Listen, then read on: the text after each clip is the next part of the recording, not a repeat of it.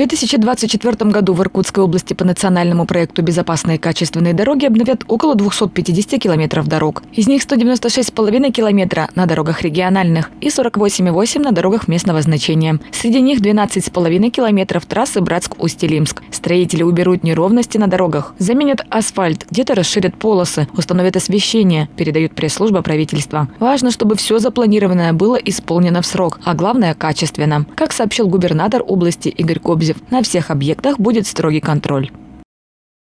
21 февраля на восьмой сессии Законодательного собрания Иркутской области был рассмотрен проект закона о преобразовании всех поселений, входящих в состав Устилимского муниципального района путем их объединения. Устилимский муниципальный округ объединит 8 населенных пунктов. После объединения их статус не изменится. Справки, документы и вопросы местного значения будут решаться на местах в поселениях, без необходимости ездить в город. Сохранятся все действующие льготы. Изменения коснутся системы управления, то есть администрации станут территориальными органами с назначением назначенными руководителями, главами, которые продолжат работать в поселениях, как и другие специалисты, но с подчинением администрации округа, как раньше сельские советы и постсоветы. Бюджетные средства не будут ни уменьшены, ни увеличены за пределы установленных норм. Объем средств будет определяться исходя из численности населения. Планируется сокращение расходов бюджета на проведение выборов местных депутатов, что составляет около 7 миллионов рублей. В результате в округе будет только одна дума с представительством из депутатов, избираемых на прямых выборах из числа жителей поселения поселков. Административный документооборот сократится в разы. Появится преимущество по обеспечению софинансирования для вступления в госпрограммы. Решение о преобразовании поселений приняла районная дума в ноябре прошлого года, а в декабре прошли публичные слушания. Жители Устилимского района согласились с предложенными преобразованиями. В результате голосования и региональные парламентарии поддержали данный проект закона.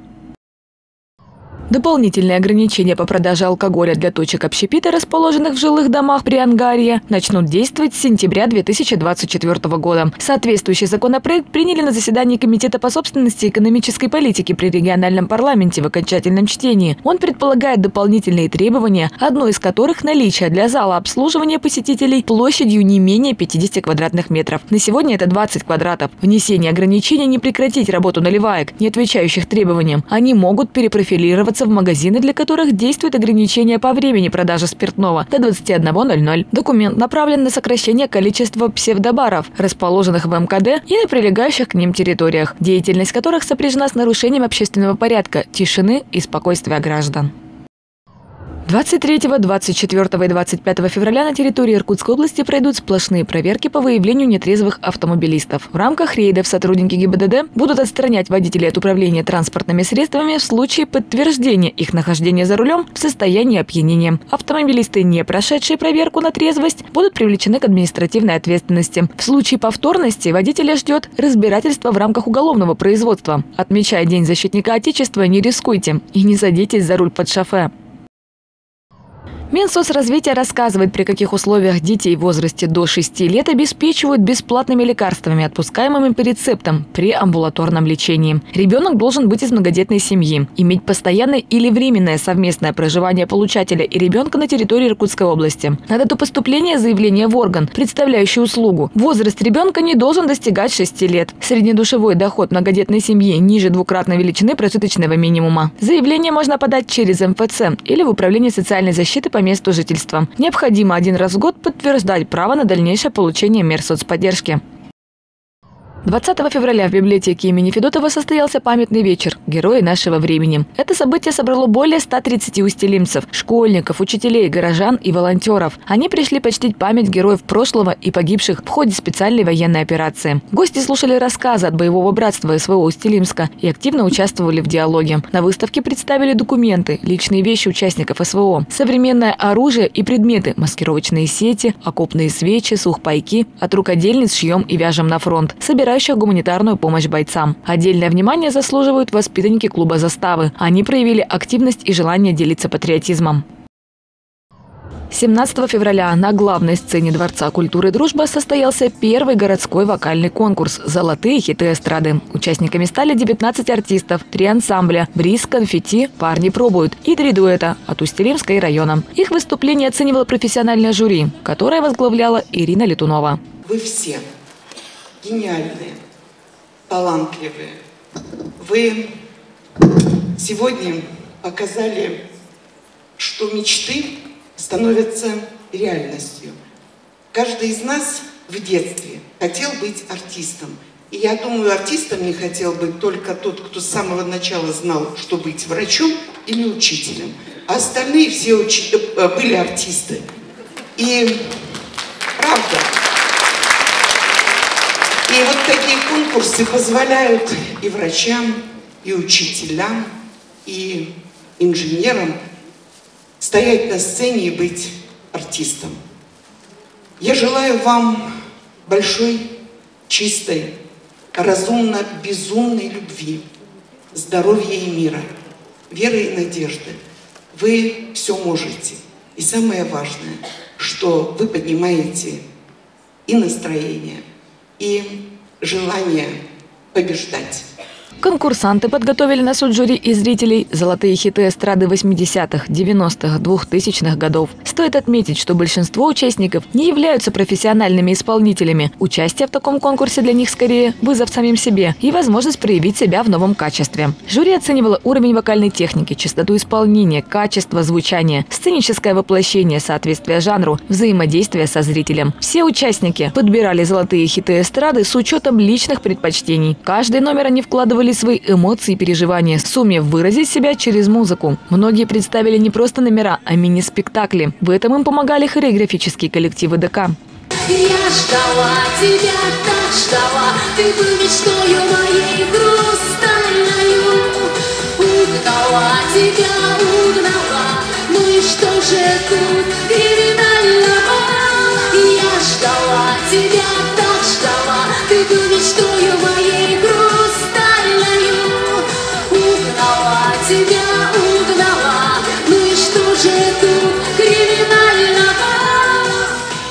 итогам конкурса приз зрительских симпатий получила Светлана Филиппова. Лучший ансамбль «Парни пробуют». Лучший дуэт Наталья Колпакова и Михаил Григорьев. Оригинальное исполнение шлягера Марина Попова. Лучшее сценическое воплощение Наталья Пазурати. Открытие года Владислав Ершов. Лауреат третьей степени Наталья Колпакова. Аплодисменты Натальи. Она получает сертификат «Салон красоты Сопрано».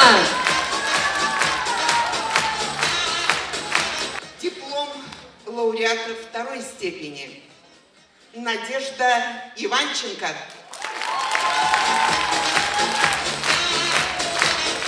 И Надежда Иванченко получает сертификат на караоке-клуб «Ля Мажор». Лауреат первой степени Михаил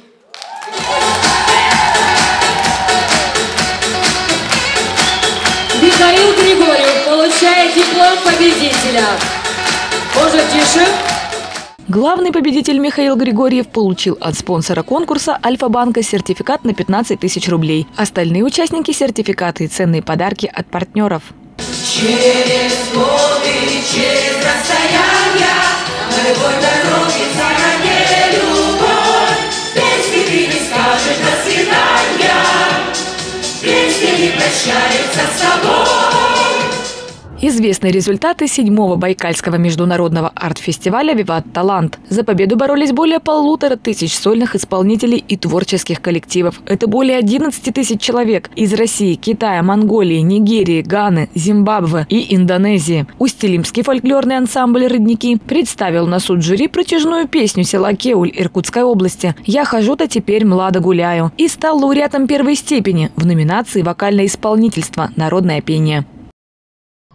Служба ветеринарии Иркутской области подвела итоги областного конкурса рисунков «Мой питомец. Моя ответственность». В нем приняли участие школьники и воспитанники детских садов Приангарья. Всего поступило более 400 работ. 63 из них от нашей территории. В ходе первого этапа рисунки оценивали сотрудники районных и городских станций по борьбе с болезнями животных. Во второй этап прошли 42 работы. Две из Устилимского района и три из Нижнеилимского. Все иллюстрации отлично передали тему заботы и ответственности за животных, демонстрируя прекрасное отношение детей к своим питомцам. Главных победителей отметили в трех возрастных категориях. Вот уже второй год мы будем отмечать День защитника Отечества в новых условиях, условиях ведения специальной военной операции. Для наших защитников, их родных и близких 23 февраля в 15.00 во Дворце культуры «Дружба» состоится праздничный концерт «За Россию». Этот праздник служит главным образом символом памяти и уважения к истории России, ее героев. Поздравить защитников Родины и отдать дань уважения их благородной миссии приглашают всех устелимцев. Вход свободный. В 14 часов в фойе дворца начнет работать фотовыставка «Тихий фронт», посвященная участникам специальной военной операции, их женам и матерям. 24 февраля в 17 часов в ДК имени Наймушина пройдет благотворительный концерт «Никто, кроме нас. Музыка военных лет». Участие примут народные вокальные ансамбли «Русская песня», «Устилимские казаки», коллектив «Спутник казачата», мужской ансамбль Дворца культуры, а также самодеятельные коллективы образовательных учреждений города. Вырученные из продажи билетов средства будут направлены на поддержку участников СВО. Алена Феоктистова, Антон Емельянов. Информационная программа «Северный город».